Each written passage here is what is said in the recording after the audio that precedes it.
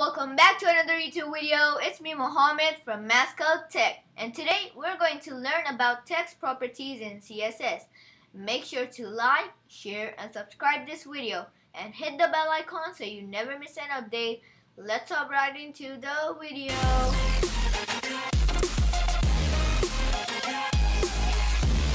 So guys, we're right here in the Visual Studio Code and today we will learn how to use text properties and we're going to learn about all the text properties that we used previously and some new ones. So over here I we have a header. So this is the header 1. We'll be using header 1. We're not going to use header 2. We're going to use paragraph and we're going to use link. So I created a link created a link over here and I'm going to show you how to create one. So let me just delete this. So to create a link, you're going to put a sign and then you're going to type in A space href enter and then you're going to paste the link over here. But first if you don't want a link you could just put hashtag and then complete this. So hashtag and then let me just type in something over here. So let me just type in link over here. And then if we open this with live server I already have one open. So open with this with live server. You see it over here right? But if you click it nothing's gonna happen. So let me try open this opening this in new tab so nothing's gonna happen. It's gonna open the same thing. So if you put a hashtag over there nothing's gonna happen. It's gonna stay this it's gonna still be on that page because a hashtag doesn't take you to another page. But if you put a link in here so like this I put a Ada Lovelace Wikipedia link and let me change this to learn more about Ada Lovelace place. And then let's go back to our Visual Studio Code. And now if I click this it's gonna take me to a different page to Wikipedia right? So yeah let's learn more about text properties. So guys we're right here in Visual Studio Code and we're going to open up the style.css sheet and we're going to do h1 tag. So h1 open and close curly bracket and it in between we're going to start typing the text property. So wait let me just zoom in a little over here so you could see clearly. So the first text property we're going to learn about is called text no font size. Font size. So there are a lot of font size you could choose from as you can see over here but it just got I, I don't know what happened to it yeah as you can see over here there are a lot of font size you could choose from. So for right now we're going to go with uh, 70 pixels. So let's go ahead and check our live server. And as you can see it changed font size over here. It changed it grew larger. So yeah let's go back. And now we're going to learn about font family. So for now we're going to use Arial as the font family. And there we go we have Arial now let's go check. And as you can see over here the font family changed. So the text changed. Now if we if your computer browser don't doesn't have the Arial font what are you gonna do? So for that you're going to put comma and then you're going to write the thing the font size I mean font family your computer has. So you're going to type in I don't know what you guys can have. So for now, I'm going to type in Times New Roman. So over here, it's going to show, show Times orange because it's reading Times, but it doesn't read Roman. It doesn't know what New Roman is. So because this text name is three letters, three different words, we're going to type in the quotation marks for both of them. You could type in uh, both uh, double quotes or single quotes it's as you wish it to be. And yeah so what it's going to do over here is if you don't have the Arial font in your browser if the browser doesn't recognize it it's going to use the Times New Roman font. So over here it's still going to use Arial because we have it in here. Okay? Now we're going to learn about font style. So font style. And again these three are the one we already used previously, but I'm still going over them so it's easy for you guys to understand them. So for font style, there are three different styles. The first one is italic, the second one is bold, and the third one is oblique. And for all these uh, text properties, I will leave a link down below in the description where you can find them. So yeah, for font style, it's going to be first italic, and let's see what it does. So over here, you can see it changed the header to italic. Now the next one is bold. So bold, bold is just gonna make the text look thicker, like bold, and then yeah. And the third one is oblique. So oblique. And then oblique is going to make the text look both bold and italic. So it's going to make the text look like a little bit slant and bolded. Yeah, so I'm going to go with bold. Okay, so the next thing we're going to learn about is font weight. So font weight. And over here, you could change the font weight to uh, 100 or 900. So we're going to go with 200 and you can see over here the font like the thickness got like a little bit smaller and if you change it to 900 for example so 900 it got thicker it got back to normal or it got more thicker like that so I'm going to put it on 900 and the next one we're going to learn about is text align so we're going to put text align and there are so many of this, but we're only going to focus on center, left, right, and justify.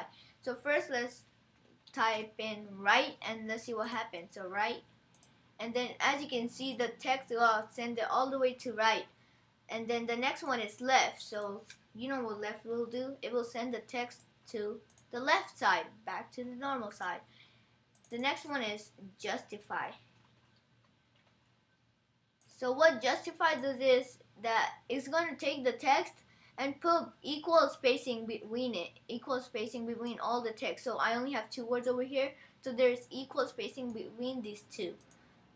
And then the last one is center. These are only the four things we're going to learn about.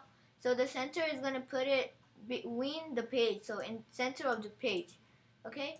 So the next one we're going to talk about is text decoration. But for text decoration, there's actually a problem. It's going to show colors, but you could put anything you want. So actually, if you go all the way up, it's going to show so many show so many things over here. And if you go down, there's going to be some over there, like it's alphabet order. But yeah, so if you put underline over here, underline, it's going to add underline under the text. And you could do many things with this. So let me put wavy. So wavy and then it's gonna do I don't know what happened to the text but it's just gonna do something to the text but it doesn't show so we're going to just put none to this because we don't want any text decorations on this one but as you can see over here on the link it has an underline on it so if we make a link tag so A and then the open and close curly bracket and if we type in text decorations enter and we put none the underline is not going to be there anymore. See, as you can see over here, there's no underline over there. But if you do that on your web page, what will people think? If they see the link, they're just going to be like, oh, I think this is just normal text. So you have to, the link should be underlined all the time. So let me just put it back to underline. Underline. So it should be underlined so they could see it and they, they know about it. So it's a link. Okay? The next thing we're going to learn about it is text indent. So we're going to put it to 50, 50 pixels. And then if we go back to our code it's going to move the text right 50 pixels. So that's what the indent does. You could put it to any number. And yeah let me put it back to zero because it looks better like that. Now we're going to use the text transform tag uh, property. So over here there are a lot of them. So if we use capitalize, let's go back. It capitalizes the top of the front letters, so the starting letters of the text. And if we use uppercase, if you want it all to be capitalized, it's going to uppercase all the letters. And what if we use, wait, let me see all more. So text transform, enter. What if we use lowercase? So lowercase is going to lowercase all the text and there are more of them. So if we do none, it's going to put the text back to normal. So none is going to put it back to normal. So that's what I want it to be none. Now we're going to learn about color. So color, enter, and then you could choose any color from here or you could even type in your own color. So for now, we're going to go red, red, enter, and then if you go back, the text has been changed to red. And you could do it to any of them. So now the next one is background color. So background color. This is just going, no, background color. So this is just going to be for the text background. So background color is going to be black. And then if you go back, you can see over here the background has been changed to black. So as you can see over here, we put the color to red and the background color to black. But if you have a different editor with the editor doesn't take the color name, you could just go to Google and type in, uh, go to the color.adobe.com. Over here, you could select any color you want. So it's going to just take me over here. So over here, you could just select any colors you like. So if I go like with that, it's going to show me so many options of colors. You could select any color you want. So if I want to select red, so let me go to red. So over here, as you can see, mine is the letter B. You could just copy this code. So let me copy it, copy, and then let's go back to Visual Studio Code. And if I put the code here, it's still gonna work. So let me paste it. And don't forget to put, put the hashtag in front of it. So hashtag, let's go back. Over here, as you can still see, it's still red. So yeah, you could do that instead. Yeah, there are so many ways you can do it. And guys, if you don't understand some of them, I have videos for some of them. I'm to just put uh, the cards on the top over here. So you could just go check out the videos. Like if I explain, for example, if I explain font size, I will put a tag up there for the lesson that we did on font sizes. So yeah, you could do that. So now we're going to learn about letter spacing. So letter spacing and then you could put any number over here. For now I'll go with 10 pixels and then just click it and then you can see over here that there are like pixels 10 pixels space between each letter. Let me put it to a larger number. Let's do 50. That was 500. 50. So as you can see, you could do that too. But for now, I'm just going to put it back to zero uh, so it looks normal. Yeah, so you could do that and many more things. I haven't made a video on this, so this is going to be the video on these ones. So yeah. So now the next one is called word spacing. So word spacing.